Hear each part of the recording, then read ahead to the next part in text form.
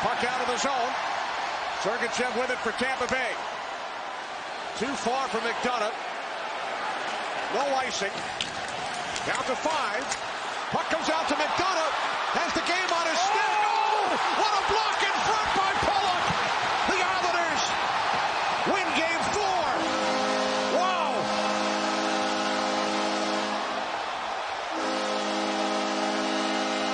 Wow, that is something, isn't it?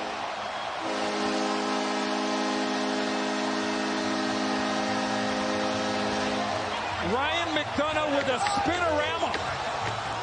With time expiring and Ryan Pulock sliding. Watch six in blue. He'll get to the front of the net. The spin. Varlamov is out and oh. Ryan Pulock saves. The save of the night. Steak dinner coming for Pulock. On Varlamov's tab. Oh, that is unbelievable. Ryan Pulock scored the game-winning goal in game one, and he makes the save of the game, save of the series in game four. Unbelievable effort. How about the patience of McDonagh to get that puck, spin around, fire it, and Ryan Pulock with the save of the night without question.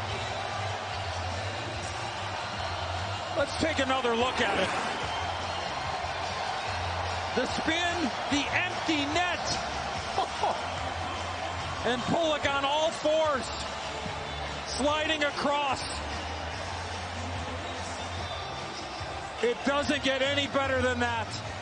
You just never know when it's your time. And the reaction after was just awesome from the guys on the bench that piled on Ryan Pulock in the corner. I hope he's one of the stars. He's got to be the third star after that save.